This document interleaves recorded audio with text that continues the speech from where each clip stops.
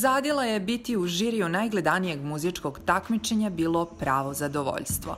Napravio je nekoliko fotografija sa kolegama, savladao brzo pravila, ali je zato redko koristio taster da. Jeste, večeras je bilo zaista čupavo.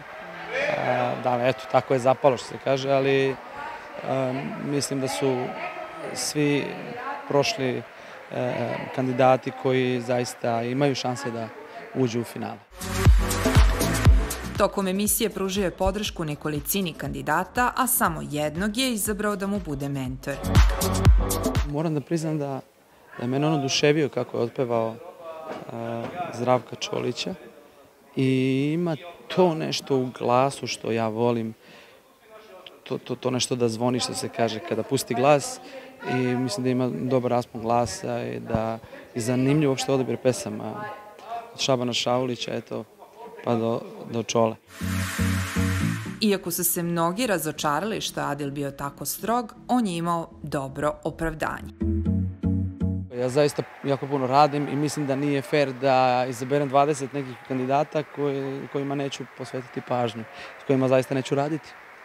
E, nego ja sve u životu doživljavam e, i, i, i, i shvatam preozbiljno i ako izaberem nekog, nekog e, kandidata, moram da ga vidim u finalu. U svojoj glavi da, da prosto smatram da je u tih nekih top 10. Poznato je da se iz žirija najviše druži sa Marijom Šerifović i da poštuje ostale kolege, a evo šta kaže o njihovom načinu komentarisanja. Jelena je takva kakva jeste i da nije takva ne bi bila Jelena Karleuša svaki njen komentar je, suštinski na mestu. Međutim, ona prosto upotrebljava neke možda reči, rečenice koje ja ne bih možda upotrebio, ali zato je ona Jelena Karleuša, ja sam Madil.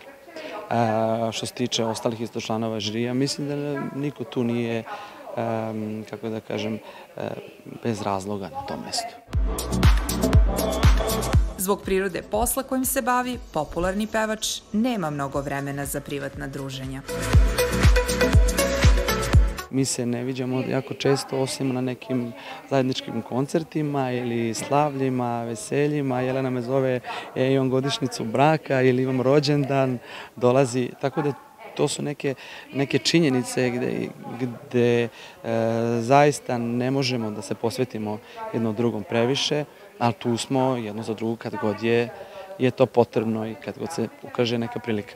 A sa Marijom se mnogo češće to čujem, vidim, mada i ona danas je u Evropi, sutra je u Americi i ne zna se zaista ono gde se probudi.